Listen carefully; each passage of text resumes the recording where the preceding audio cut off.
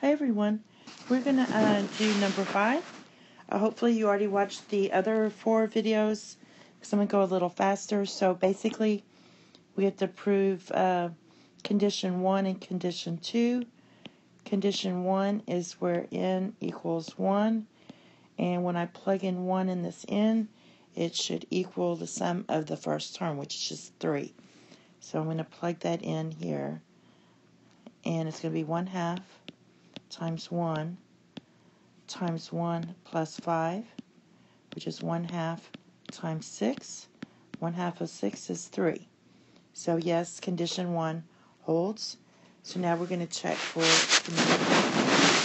and if the statement is true for some k, so I'm going to write 3 plus 4 plus 5 plus dot dot dot plus k plus 2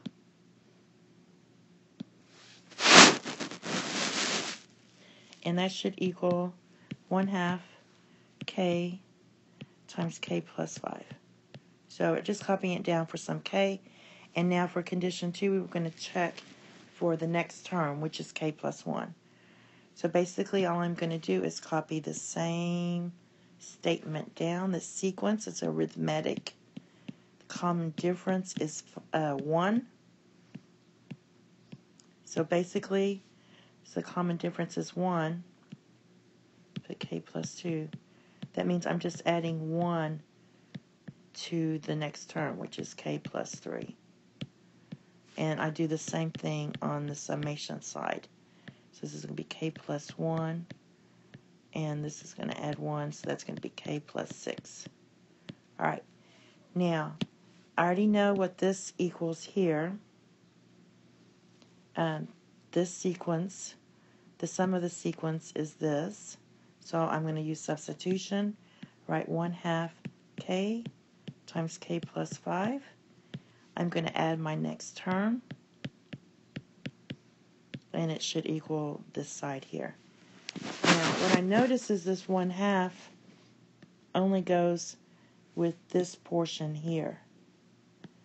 So if you want, um, I'm going to go ahead and write this as k times k plus 5 over 2 plus k plus 3.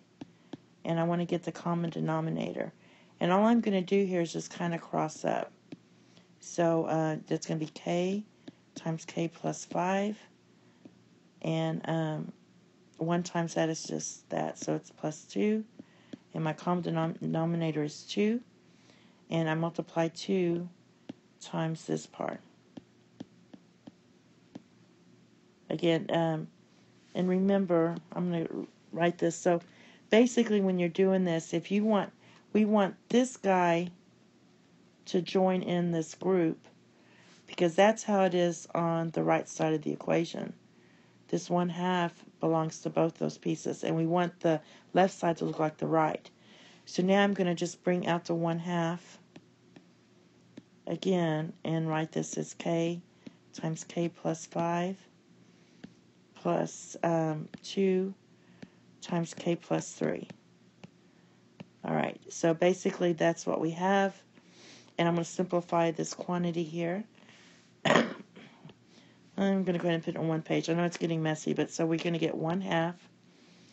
And simplify this, we get k squared plus 5k plus 2k plus 6.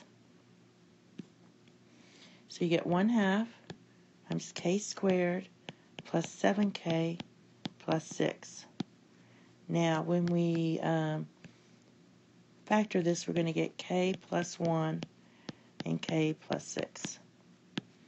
And it does match our right side of the equation. So we have proved uh, condition 1 and condition 2. And the statement is true for all natural numbers n. All right, thank you. Have a nice day. Bye bye.